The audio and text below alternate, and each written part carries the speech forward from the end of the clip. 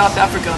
Um, I just wanted to tell you that in a couple of days we'll be releasing our track by track, where we um, tell you all about the inspiration and all the ideas we had for the songs on our concept album. And, and also we're going to be releasing two music videos.